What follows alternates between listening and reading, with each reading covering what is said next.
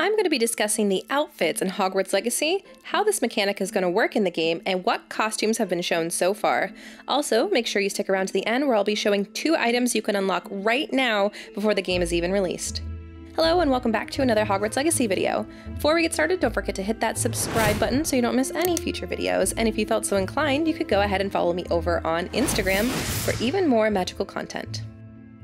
Alright, let's rewind all the way back to September 2020 and the incredible first teaser that was shown at the PlayStation event that had so many of us dying to play this game. During this trailer were shown two different and very iconic outfits Quidditch robes and house robes. Let's start with the Quidditch robes.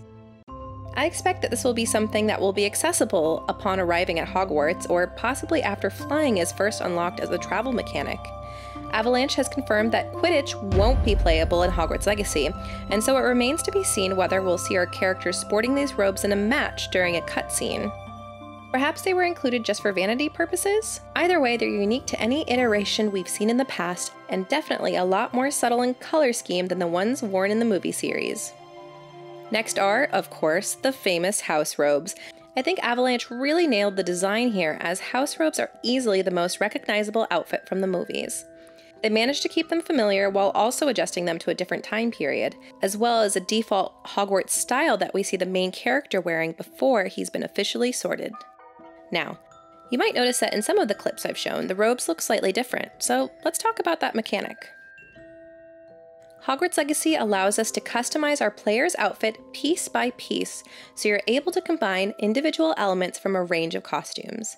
This will allow us to really fine tune the way we look in the game and allows for loads of different options. As shown in the Avalanche Autodesk video, the costume pieces we can change are hat, upper body, lower body, shoes, socks, robes, scarf, ring, gloves, mask, and glasses. Just looking at this wide array of options is so exciting for the amount of detail they put in, as well as the items we might be able to unlock. Will Harry's iconic glasses be available for our character? Or perhaps Marvolo's ring before it fell into the hands of Voldemort and became a Horcrux? Let's be honest, having the Resurrection Ring equipped should definitely offer some in-game advantages. It also raises the question about in-game stats, and whether or not the items affect that. Perhaps the gear offers extra magical defense bonuses or boosts the attack power of a certain spell. Plus 100 to Expelliarmus for having Harry's glasses equipped? We also know that Hogwarts Legacy will feature different seasons, and so I'm curious to see if, like some games, the player will have to dress according to the weather to avoid some sort of stat drain. We see in the snowy sections of the gameplay that the character is wearing a scarf, although, of course, this could just be for aesthetic purposes. Either way, I think I'm going to be dressing lightly when dicing with dragons. The next thing I want to talk about are presets. Now, if you take a look at the outfit the character is wearing in the video here, it seems to be a less magical looking and casual muggle look, at least by Victorian standards. This outfit comes up a lot during various sections of gameplay. The player always seems to be wearing it during the parts of the game that don't take place in Hogwarts or the grounds.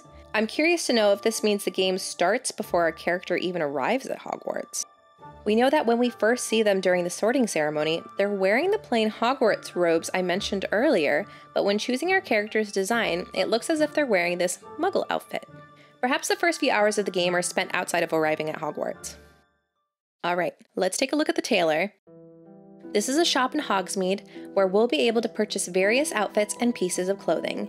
It seems as if the special outfits like house and Quidditch robes are given to the player in other manners or upon arriving at Hogwarts. So it's possible there will be a wide array of ways in game to obtain outfits other than at the tailor. Perhaps magical creature gear that's unlocked through taming or caring for certain beasts, hidden outfits found in secret locations inside the game, or even items in the tailor that aren't available until you've reached a certain level or skill requirement.